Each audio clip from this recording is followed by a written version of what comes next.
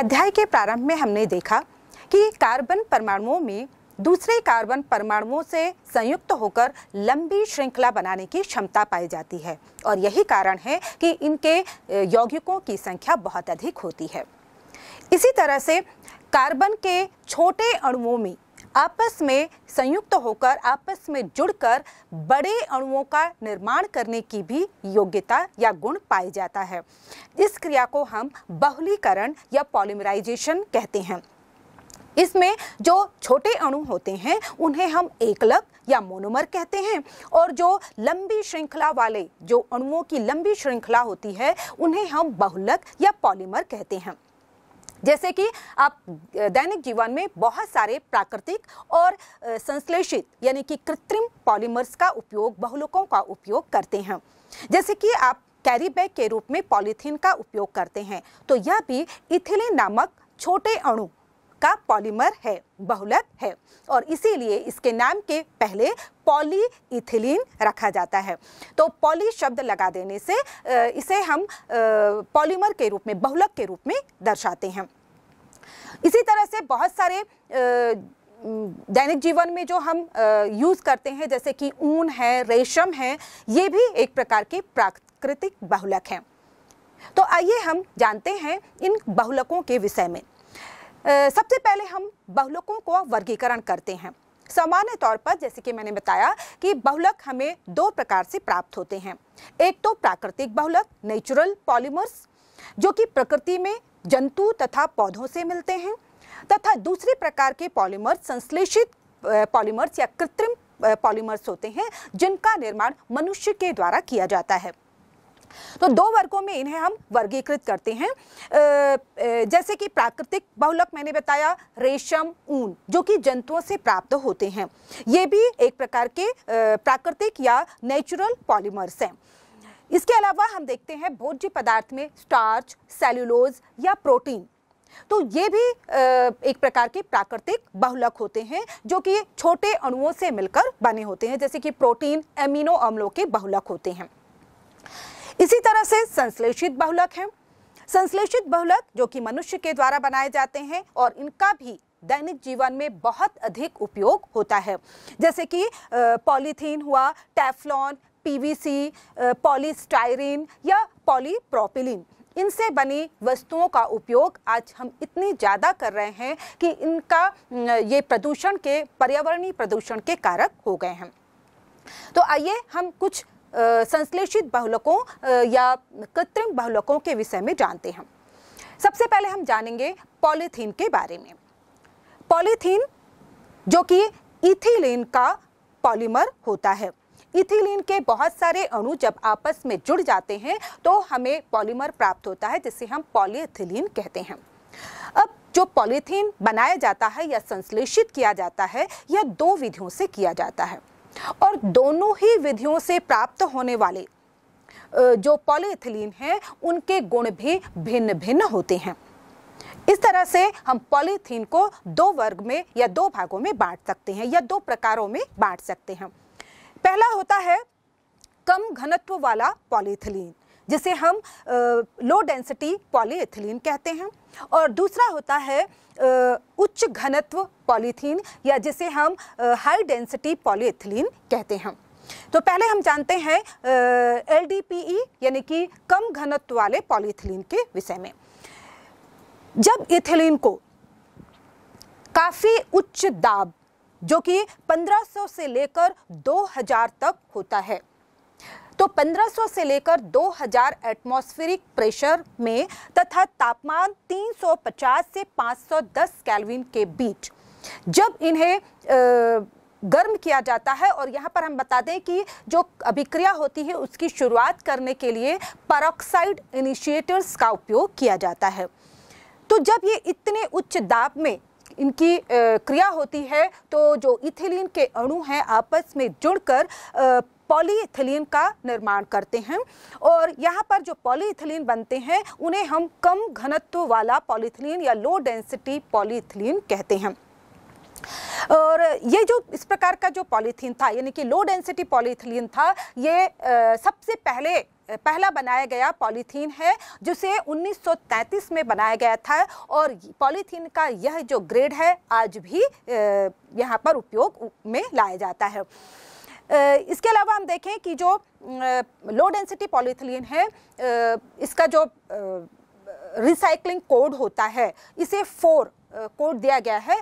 हालाँकि लेकिन इसका ये वन एक बार उपयोग होने वाला पॉलीथिलीन है और इसीलिए इसका रिसाइकल नहीं होता है। यदि हम इसके गुणों की बात करें तो चूँकि ये उच्च दबाव के साथ बनाए जाते हैं और इसलिए इनकी जो संरचना होती है, यह काफ़ी ज़्यादा शाखित होती है। यानी कि इनकी जो शाख जो श्रेणियाँ होती हैं या श्रृंखलाएँ होती हैं, वो बीच बीच में शाखाओं में विभक्त होती हैं और इसकी वजह से इनके जो अणु हैं, आपस में बहुत अधिक पास पास नहीं होते हैं। यानी कि इनके बीच जो अंतर अणु बल होता है, वो काफ़ी कम होता है। और इसकी वजह से ये क्रिस्टलीकृत नहीं होते या इनका घनत्व काफ़ी कम पाया जाता है। और चूँकि इनका घनत्व कम होता है, इसलिए लचीले होते हैं, लेकिन इनकी जो तनन क्षमता होती है, वो काफ़ी कम होती है। इसके अलावा इसमें जो अधिक शाखाएँ होने की वजह से ये कमज़ोर होते हैं, लचीले स्वभाव के, लचीली प्रकृति के होते हैं। यदि हम इनके उपयोग देखें तो जितने भी हम देखते हैं कि कैरी बैग हुए या कि जिप लॉक वाले पॉलीथीन्स हैं, उनका उपयोग हम करते हैं, वो इनसे ही बने हुए होते हैं।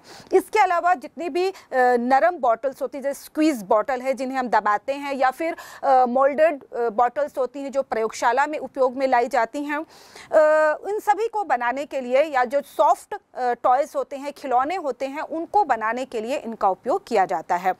ये भी चूँकि विद्युत तथा रसायनों के ऊष्मा के कुचालक होते हैं या कहें हम बहुत ही लो चालक होते हैं, इसकी वजह से इंसुलेटर्स बनाने के लिए इनका उपयोग होता है, जो केबल पाइप्स होते हैं केबल तार होते हैं, उनकी कवरिंग बनाने के लिए इनका उपयोग किया जाता है।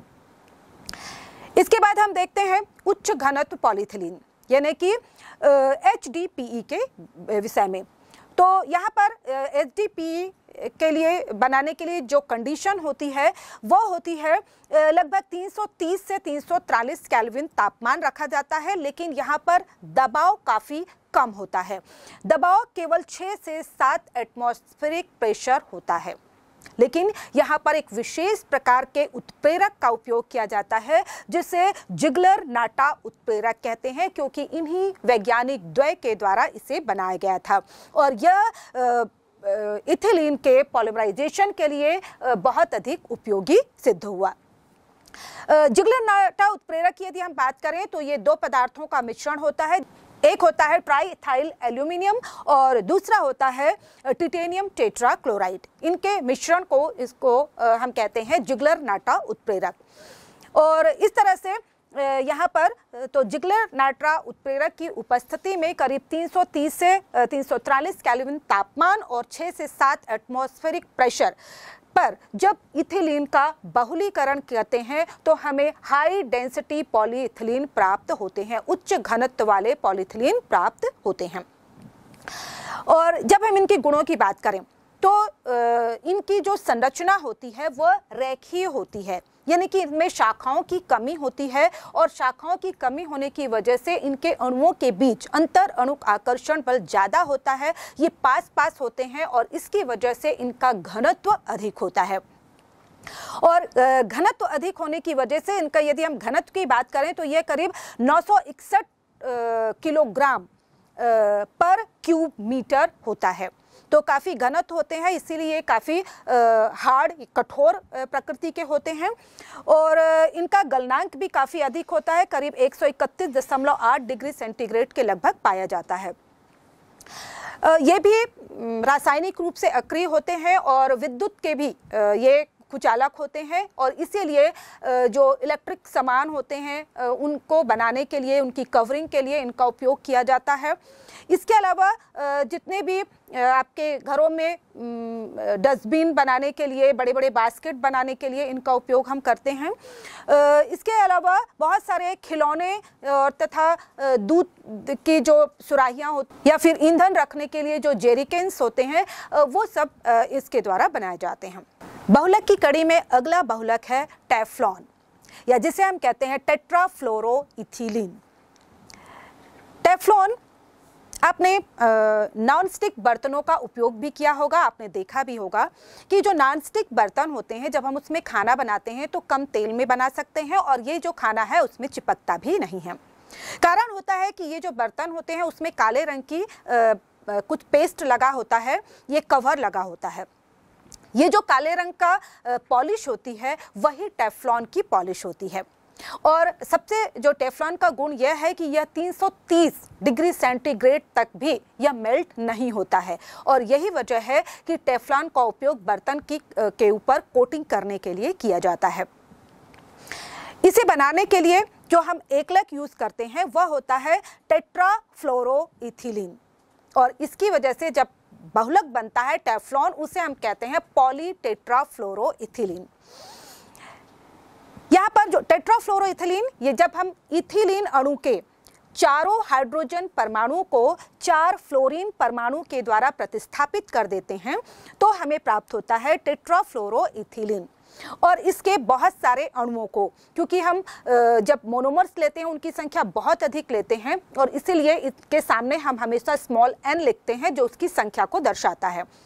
उसके बाद जब इनकी क्रिया उत्प्रेरक की उपस्थिति में उच्च ताप पर कराई जाती है जब इनका पॉलिमराइजेशन होता है, बहुलीकरण होता है तो उसके फलस्वरूप हमें पॉलीटेट्रा फ्लोरोइथिलीन प्राप्त होते हैं जिससे टेफ्लॉन कहा जाता है।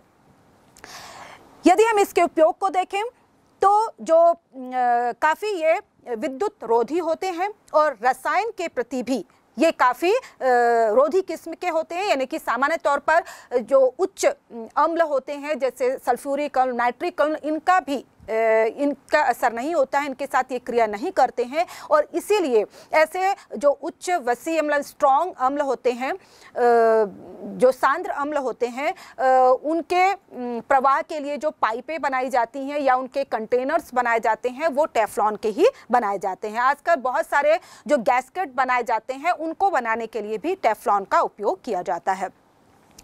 यहाँ पर हम एक बात और बताना चाहेंगे कि जो नॉनस्टिक बर्तन होते हैं।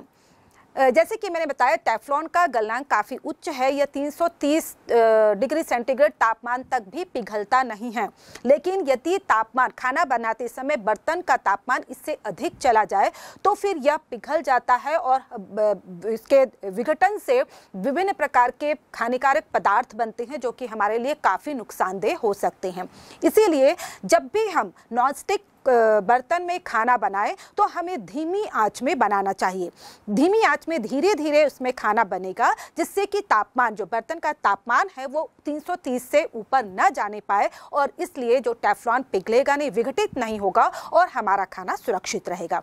तो इसलिए जब भी हम नॉनस्टिक बर्तन में खाना बनाएँ तो हमें तापमान को जो स्लो में रखकर बनाना चाहिए। इसके बाद एक और महत्वपूर्ण बहुलक के विषय में जानेंगे। उसे हम कहते हैं पॉलीविनाइल क्लोराइड, या जिसे इन शॉर्ट में कहते हैं पीवीसी आपने देखा होगा, जो भी आप रेनकोट उपयोग करते हैं या टेबल को ढकने के लिए बड़े बड़े कवर यूज़ करते हैं। या फिर आपने देखा होगा कि जो आपके खिलौने होते हैं या जो गाड़ियों के, साइकिलों के मडगॉड बने होते हैं, ये सभी पीवीसी के ही बने होते हैं। और सबसे ज़्यादा उपयोग, जितनी भी जो केवल या विद्युत की जो पाइपें होती हैं या फिर जो इरिगेशन के लिए जो मोटी पाइपें उपयोग में लाई जाती हैं, वो सभी पीवीसी पॉलीविनाइल क्लोराइड से ही निर्मित होती हैं। तो इसलिए ये जो बहुलक है हमारे लिए काफ़ी ज़्यादा उपयोगी है और इसको बनाने के लिए हम विनाइल क्लोराइड का उपयोग करते हैं। विनाइल क्लोराइड में जब हम इथिलीन के अणु में से एक हाइड्रोजन को एक क्लोरीन परमाणु के द्वारा प्रतिस्थापित कर देते हैं तो ये जो संरचना हमें प्राप्त होती है, उससे हम कहते हैं वाइनल क्लोराइड। यहाँ पर हम देखेंगे कि जो यहाँ पर क्रियात्मक समूह यानी कि क्लोराइड है और वह एक बंद के अंतर से द्विबंध और क्लोराइड समूह के बीच एक बंद का अंतर होता है। यहाँ पर इस प्रकार की जो संरचना तैयार होती है, उसे हम वाइनल कहते हैं। तो इस प्रकार वाइनल क्लोराइड यहाँ पर मोनोमर के रूप में उपयोग किया जाता है और जब इसका बहुलीकरण हम उत्प्रेरक की उपस्थिति में करते हैं तो ये हमें जो बहुलक प्राप्त होता है, उसे हम कहते हैं पॉलीविनाइल क्लोराइड पीवीसी और यह भी विद्युत तथा उष्मा रोधी होते हैं तथा रसायनों के प्रति भी ये रोधी होते हैं और इसीलिए इनका उपयोग बहुत सारे रसायनों या को रखने के लिए या जो विद्युत उपकरण हैं, उनको बनाने के लिए इनका उपयोग किया जाता है।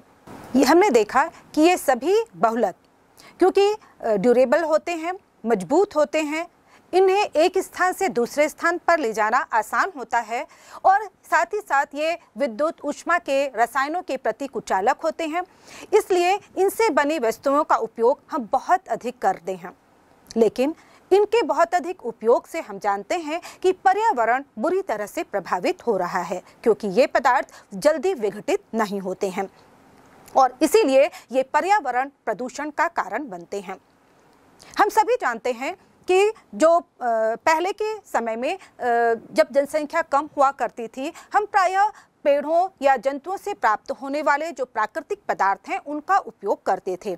हम कागज़ की थैलियों का उपयोग करते थे, जो कॉटन जूट के बने पदार्थों का उपयोग करते थे और इन पदार्थों का चूँकि आसानी से विघटन हो जाता था, इसलिए हमारे पर्यावरण को नुकसान नहीं होता था। लेकिन एक समस्या थी, क्योंकि ये सभी पदार्थ प्राकृतिक पेड़ पौधों से तैयार होते थे, इसलिए इन्हें बनाने के लिए हमें पेड़ काटने पड़ते थे। और धीरे धीरे पेड़ों की संख्या कम होने लगी, जिसकी वजह से पर्यावरणीय प्रदूषण की समस्या, कार्बन डाइऑक्साइड की अधिकता होने की समस्या आने लगी। इसकी वजह से हमें पॉलीथीन जैसे पदार्थों या बहुलकों का सहारा लेना पड़ा। जैसे कि हमने जाना कि इनके गुण बहुत अच्छे होते हैं, ये काफ़ी हल्के होते हैं, सस्ते होते हैं, मज़बूत होते हैं, लंबे समय तक टिकाऊ होते हैं और रसायनों के प्रति रोधी होते हैं। इस वजह से इनका उपयोग दिनों दिन बढ़ता चला गया। और अब हम जानते हैं कि ये आज हमारे पर्यावरण के लिए बहुत ही घातक हो रहे हैं। हम जानते हैं कि पर्यावरण में क्योंकि इनका विघटन नहीं होता है, इसलिए ये बहुत अधिक मात्रा में प्रदूषण के कारक होते हैं। हमारे जो जंतु हैं, इन्हें खाकर इनकी मृत्यु हो जाती है।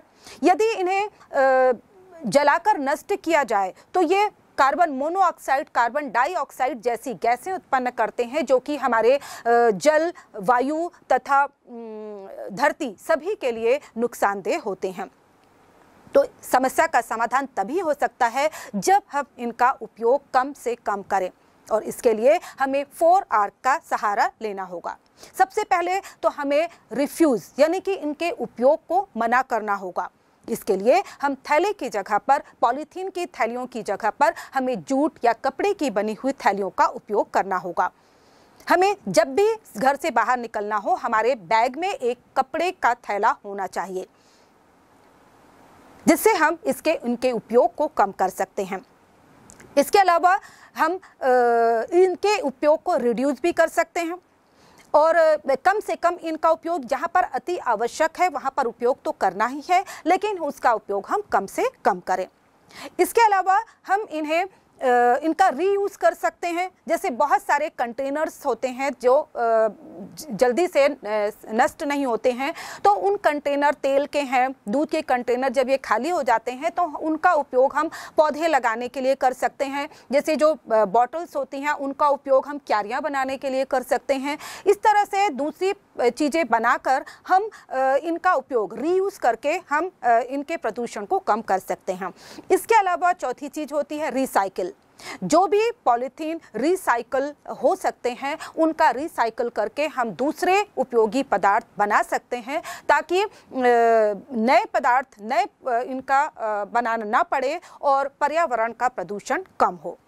तो इस तरह से हमारा कर्तव्य है कि यदि ये बाहुलक हमारे लिए उपयोगी हैं तो हमें इनका उपयोग इस तरह से करना है कि पर्यावरण का प्रदूषण ना होने पाए।